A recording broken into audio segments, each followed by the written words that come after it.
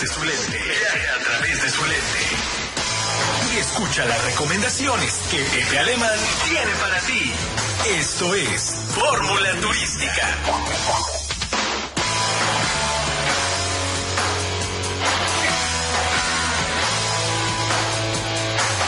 Amigos de Radio Fórmula Morelos, ya se encuentra aquí, como acaban de escuchar, Pepe Alemán para su sección de cada viernes. Querido Pepe, bienvenido. Muchas gracias, Lili. ¿Cómo estás? Buena tarde. Siempre es un gusto saludarte. Nosotros más en plenas vacaciones, ya segunda semana oficialmente de las vacaciones, nos traes una opción imperdible para los que somos de Morelos y quienes nos visitan de fuera. De verdad que siempre da gusto ir a este rinconcito con agua y sol que tenemos nuestro mar de Morelos, querido Pepe. Así es, Lili. Y bueno, para estos fríos, si nos gusta el calorcito, eh, pues es una buena opción. Así que dejemos las chamarras a un lado y vamos a ponernos bronceador. Perfecto, Pepe. Tequesquitengo es eh, un lago que existe en el estado de Morelos, muy cerca de, de la capital. Estamos prácticamente a 35, 40 minutos. Es un lugar muy peculiar, Lili, porque inicialmente ahí se cuenta la leyenda, había un pueblo, hay un poblado, existe ahí una catedral, una iglesia, que cuando baja el agua llega a verse un poquito el, eh, la parte más alta de, este, de esta iglesia. Así que es un lugar con mucho eh, con mucha historia y vale la pena este, disfrutarlo.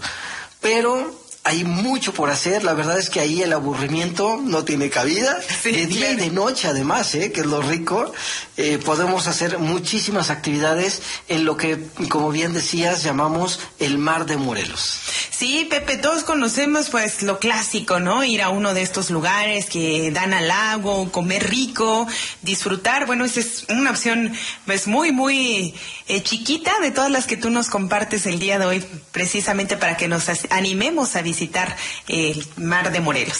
Fíjate que una de las eh, características de este lugar es que te puedes encontrar desde hoteles de cinco estrellas hasta eh, espacios de playa donde puedes acampar, es para todas las economías, para todos los gustos. Sí vale la pena hacer un ahorrito y disfrutar de, de tantas opciones porque puedes eh, hacer muchas actividades en agua como el kayak, como el esquí acuático o como paseos en lancha pero alrededor, incluyendo el cielo. Sí, claro. hay varias actividades. Por ejemplo, paracaidismo. Sí.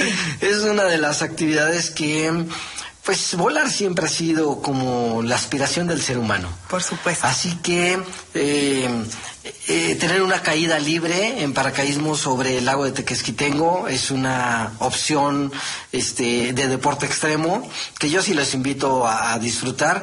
Eh, yo he visto, por ejemplo, eh, personas de la tercera edad hacerlo. ¿Pero tú lo has hecho alguna vez? ¿Te has tirado? No, Lili, no. Será una de mis este, tareas para el próximo año. Perfecto, ya lo anotamos. Está grabado aquí. Sí, ya queda este, como promesa. Pero lo que sí he hecho es esquí acuático. Fíjate que esta actividad lo único que requiere es tener mucha fortaleza en las, piernas. Y eh, no, no perder la concentración porque pues entre que vas echando relajo y todo, sí te puedes este, tropezar y te da una revolcada a la lancha y en el, en el agua que sí duele, así que hay que concentrarse mucho, pero se puede disfrutar también. Cuando lo hacemos este con eh, con un buen guía, porque hay empresas que te eh, ofrecen todos los servicios y además te dan una buena instrucción, lo puedes disfrutar muchísimo. Otra de las actividades también de aire es el avión ultraligero. Sí. Eh, ya habíamos comentado en algún momento, esta actividad te permite conocer todo el lago de Tequesquitengo, las zonas arqueológicas que están ahí cerca, hay un parque de flores nuevo que también se puede disfrutar por el aire y todo esto se hace precisamente ahí en, en, el, en el lago de Tequesquitengo. Y vámonos no solamente a nivel del agua, sino más abajo, porque puedes bucear en, en, Teques. Mira, no Sí, también ahí hay unas empresas que te ofrecen este servicio. El tipo de agua no es, por ejemplo, como el de otros eh, espacios que tenemos que son totalmente cristalinas, pero se permite hacer esta actividad, se puede hacer también con un buen, con un buen instructor y puedes disfrutar cómo el ser humano se sentía en su estado más cómodo, que es este en la placenta, estamos totalmente en agua y bucear te remite mucho a este espacio, ¿no? O sea, en el sentido de la sensación. Claro. No lo tenemos en la memoria, pero en la memoria del cerebro, pero sí en la memoria de las sensaciones. Maravilloso, ¿no? De, verdad que desconocía que había posibilidad de bucear en Tequesquitengo y con lo que comentabas, esta ciudad escondida debajo del lago debe ser toda una experiencia.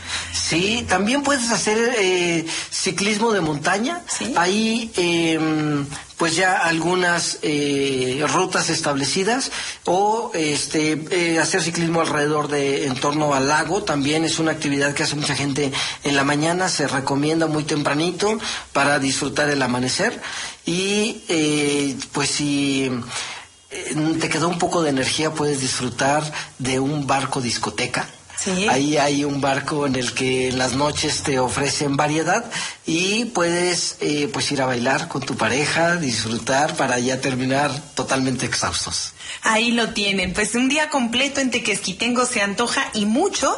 Además ya mencionabas opciones también para quedarse, para pasar la noche ahí, para estar más de un día en Tequesquitengo.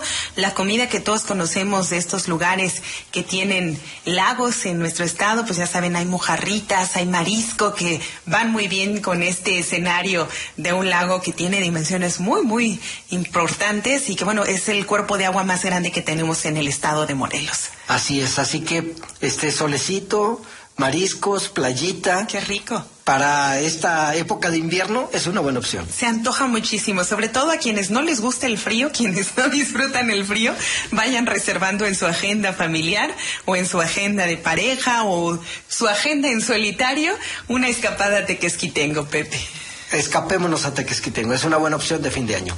Pues ahí lo tiene a una semana previa que cierre este año. Nos quedan días para cerrar este 2018. La recomendación de Pepe Alemán es ir al mar de Morelos y bueno, disfrutar del calorcito que allá nunca nos falla. Y, tampoco nos falla la diversión. Sí. Para todos los gustos. Ahí lo tiene. Pepe, como siempre, muchísimas gracias. Gracias a ti, Lili. Felices eh, días de vacaciones. Bien, y vamos con esta recomendación a una pausa muy breve. Volvemos con más. Esto fue Fórmula Turística en la voz de Pepe Alemán.